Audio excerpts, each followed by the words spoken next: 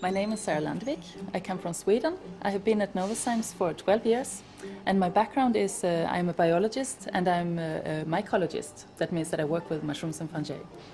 You know, fungi, they have existed for so many years. They have invented all sorts of uh, biochemical tools. So we are just trying to learn from them. When we come to the lab, we will take uh, the, the fungus and we will let spores fall down on a plate uh, we will look at the spores, uh, follow the spores and the growth, and we will take them over to new plates, re-isolate them, and eventually we will have one clean culture. My name is Mikako Sasa.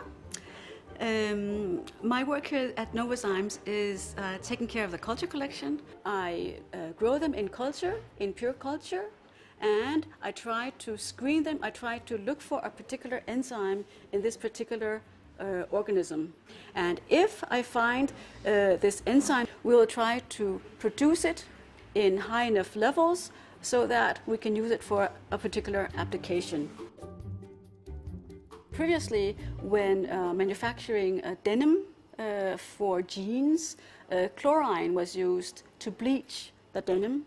Um, but now, instead of that, uh, enzymes are used you will find many products in the shops uh, with enzymes. Uh, you would find, for instance, detergents, you would find uh, juice, uh, you would find bread, you would find uh, wine. If we want a sustainable future, we need to, to learn from nature how to run it and how to use the, the tools that nature has developed. I love my job.